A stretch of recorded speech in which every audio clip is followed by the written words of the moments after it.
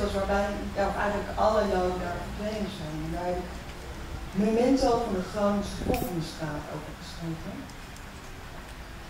Hier oefenen onze blikken langs de gevels met de nog niet zo lang geleden aangebrachte herdenkingskunsten niet meer zien, dit nooit meer kunnen bekijken en we kopen bij de 57 Neringbühne